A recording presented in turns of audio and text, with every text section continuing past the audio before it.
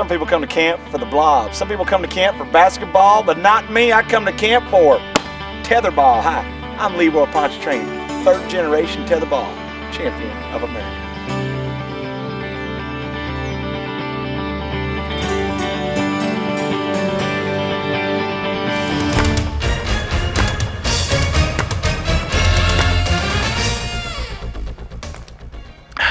You know, there's three types of speeds in tetherball. There's the regular serve, there's the slow motion scare 'em serve, and then there's the hyper speed serve. Here we go. Oh, wow, boy, you're pretty good. You're pretty good. Yeah. But you're not as good as me. Yeah! Yeah! It ain't about what you play or how you play it. It ain't about if you lose. It's about winning. That's right, boy. You can't have none of me because I'm the tetherball champion. Winning at all costs. Some of you out there might be saying, Leroy, where'd you learn this game? Well, I'll tell you the truth, my pappy learned it back in WW1 when he used to play with the British. But back then it was called tetherwood, but everybody kept breaking their wrists on it because it was made out of wood. Somebody came up with a good idea to, why don't we put a soccer ball on that thing? now, you know, there's a lot of people out there that think, how'd you learn how to play? Well, I already said my grandpappy, but you know, every good athlete, well-conditioned athlete, has a coach. And I want to introduce you to my coach. This is my coach, Evian Water Spring Man. Go! Go! Go! Go! Go! Go! Go! You know, this reminds me of one story back in 1972. I-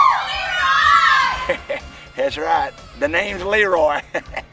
All right. Well, you know, back in 1972 when I was in that tournament, you know, it was tough. Probably the hardest match of my life, but I dug deep down. Deep down. And basically ripped my own heart out looked at it and then swallowed it again and then went back in the ring and I beat him. Winning's taken me from East Texas to West Texas and back to East Texas and a little bit further east towards the Louisiana border.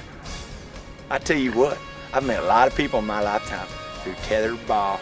Tether ball. Now, I want to encourage you, boys and girls, keep your fist on the ball and your eye on the top of that pole. Tether ball take you places you never dreamed of going. Remember, Leroy Poncentrane. That's a big time name. We'll check you guys later.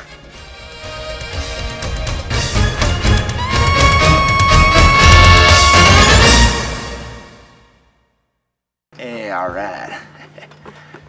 Are you Leroy Poncentrane? Wow, yes I am.